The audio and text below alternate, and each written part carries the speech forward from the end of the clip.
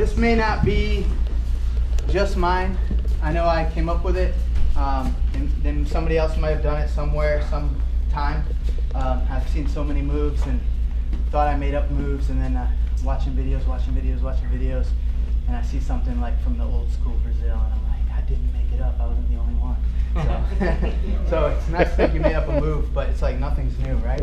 Um, so this one is uh, called rolling heel hook, and it's from De La Riva. So I step in here, I do that a lot, and the guy goes De La Riva. So what I'm gonna do, I'm gonna step back, and instead of sitting for a knee bar, like you see a lot, I'm gonna shoot my hand here.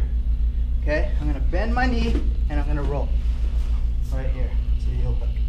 Okay, and uh, just for fun, it's another position I've been working on from the saddle, right? So I've seen this with judo. They come here and they extend their leg and they come here and they throw their leg over and that hurts. But I've also found that he can sit up and he can footlock this foot. Yeah. And if I can't get the heel in time, he would win that. So what I do is instead of throwing my leg over, bring it under and I cross my feet here, try to get away. I call this one the unicorn. All right, because his legs are intertwined like a unicorn horn. And it's kind of like far out there, like you've done a lot of work to get there. So it might seem impossible, but it's not. Trust me. So we're here, rolling heel hook. I go here, bend. This keeps everything tight, and then I forward roll, reaping my leg over, and my toe finds my armpit finds the toes. Heel hook. Okay. So same heel hook position we've been working on.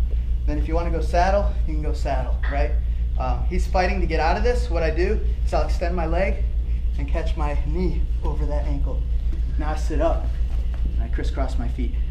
One, it helps limit the roll with this shin. He can't footlock me, and the cross keeps everything locked. I squeeze my knees together and find that heel again. Okay, so it's just a heel hook again. Love this. All right, one more time. You okay? Yep. So here, one, two, four, three. Find the heel. Okay, saddle. You want to work the saddle and the unicorn, just go here, and there it is again.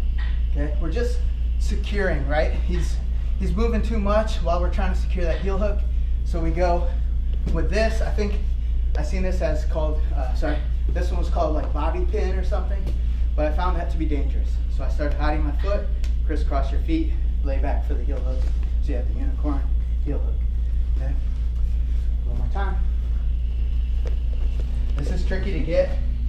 So diving my foot deep into that roll, kind of like the rolling toe hold.